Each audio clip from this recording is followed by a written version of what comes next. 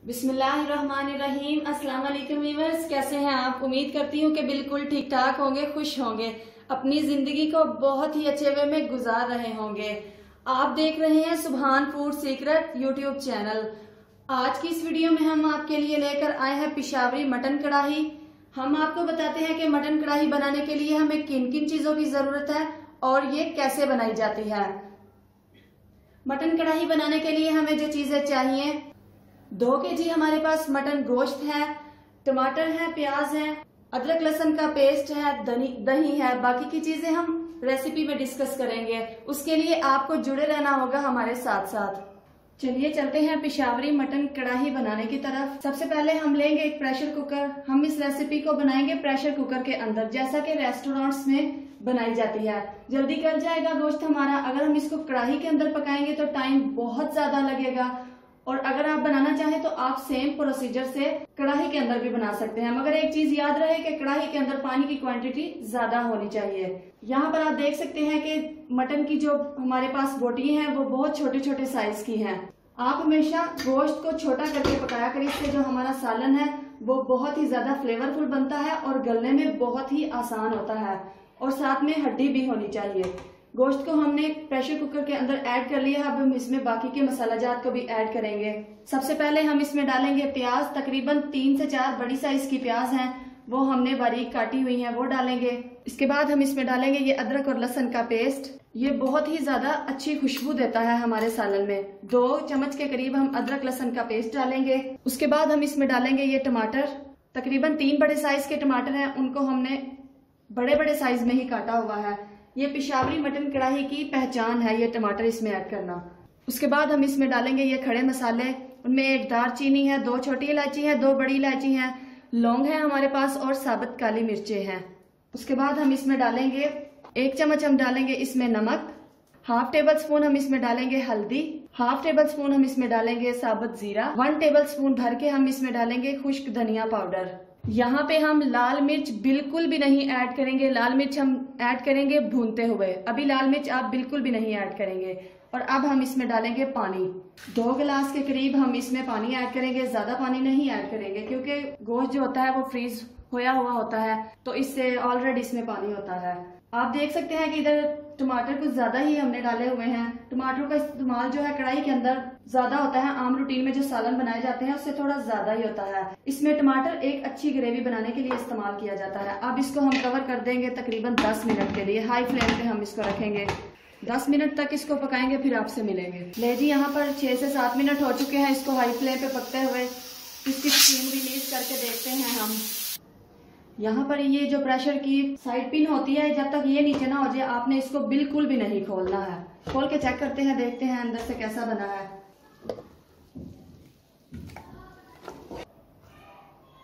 ये बहुत अच्छी तरह से गल चुका है, इसको ज़्यादा गलाना नहीं है आपने अभी, क्योंकि अभी इसकी हमने बुनाई करनी है।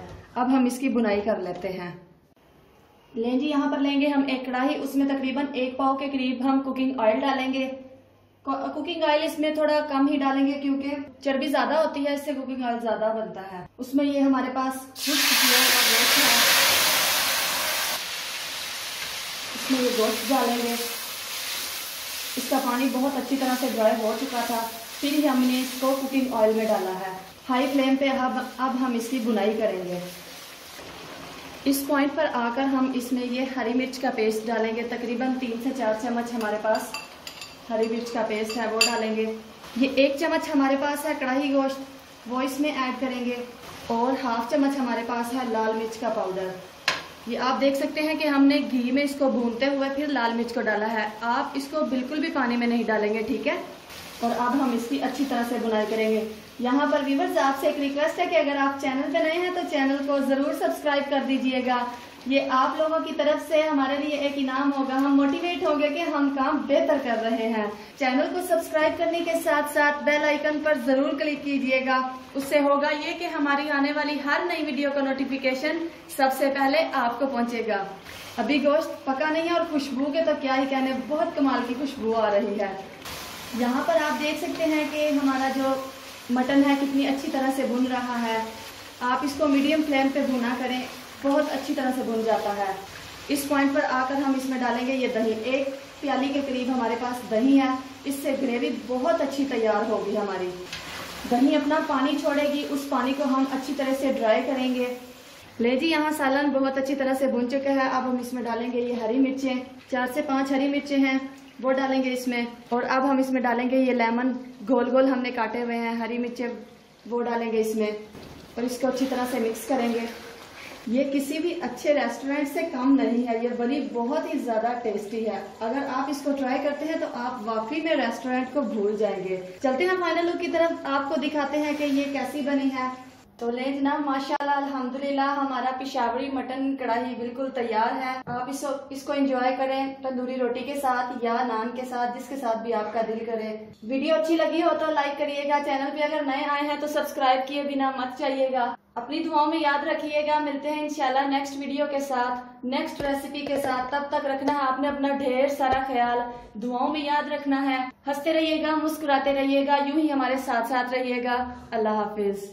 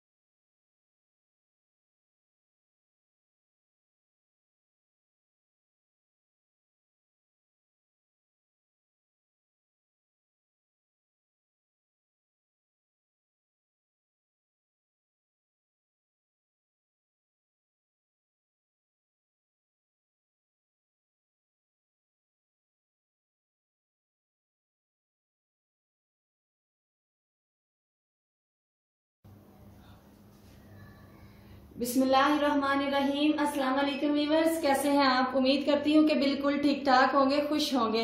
अपनी ज़िंदगी को बहुत ही अच्छे वे में गुजार रहे होंगे। आप देख रहे हैं सुबहान फ़ूड सीक्रेट यूट्यूब चैनल। आज की इस वीडियो में हम आपके लिए लेकर आए हैं पिशावरी मटन कढ़ाई हम आपको बताते हैं कि मटन कढ़ाई बनाने के लिए हमें किन किन चीज़ों की ज़रूरत है और ये कैसे बनाई जाती है।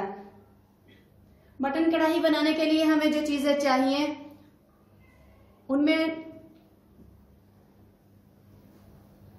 दो के जी हमारे पास मटन गोश्त है, टमाटर है, प्याज है, अदरक लहसन का पेस्ट है दही है, बाकी की चीज़ें हम रेसिपी में डिस्कस करेंगे। उसके लिए आपको जुड़े रहना होगा हमारे साथ साथ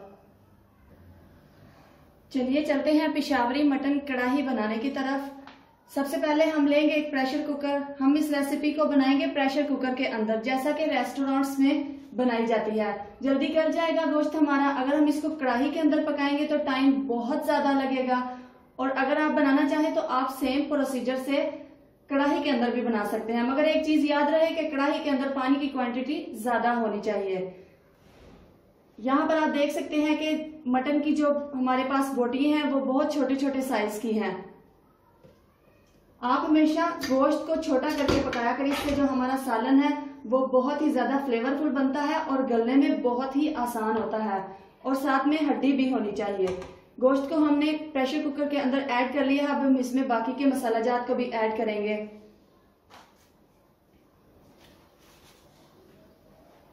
सबसे पहले हम इसमें डालेंगे प्याज। तकरीबन तीन से चार बड़ी साइज़ की प्याज हैं। वो हमने बारीक काटी हुई हैं, वो डालेंगे।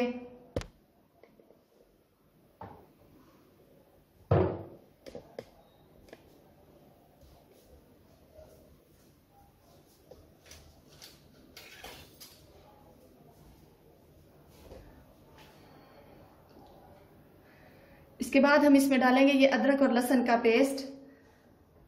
ये बहुत ही ज़्यादा अच्छी खुशबू देता है हमारे सालन में। दो चम्मच के करीब हम अदरक लहसन का पेस्ट डालेंगे।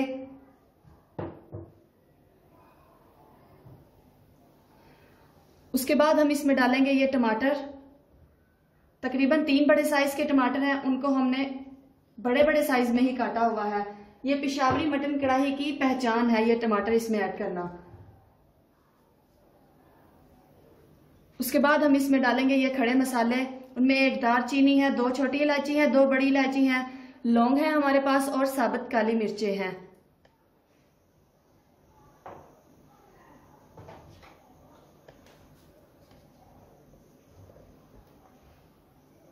उसके बाद हम इसमें डालेंगे,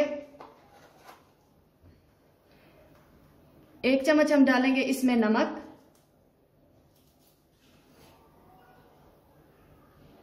हाफ़ टेबल स्पून हम इसमें डालेंगे हल्दी। हाफ़ टेबल स्पून हम इसमें डालेंगे साबुत जीरा।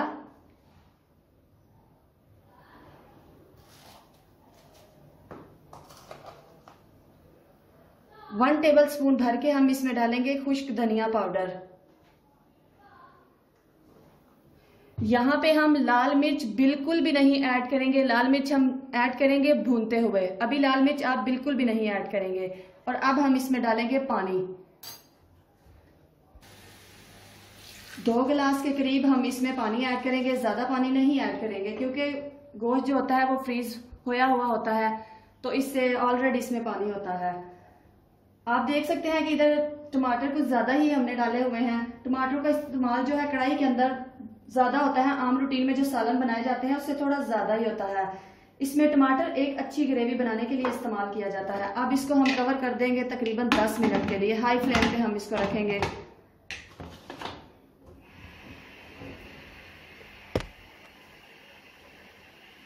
दस मिनट तक इसको पकाएँगे, फिर आपसे मिलेंगे।